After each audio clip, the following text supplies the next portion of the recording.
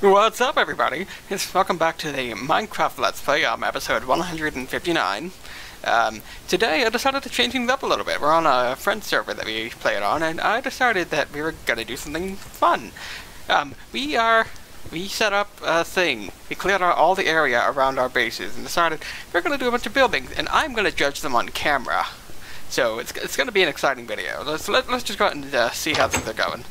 Okay, nothing new so far. Uh, Looks like our farms are doing well. Uh, the cows are over there, and um, right over here is uh, my horse, is a uh, bad horse, thoroughbred of sin. Okay, so um, uh, that the penis. That wasn't there before. Uh, so much for this video being child-friendly.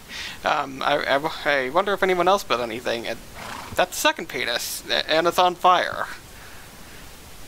Oh, oh Okay then, let's um, let's not look at it anymore, and let's just uh, keep walking. Um, I know Vanessa made something, and it should be just around this corner, and um, every fucking day with you guys. Come on, I can't, I can't even do a fucking video. It's, it's wait, what's this?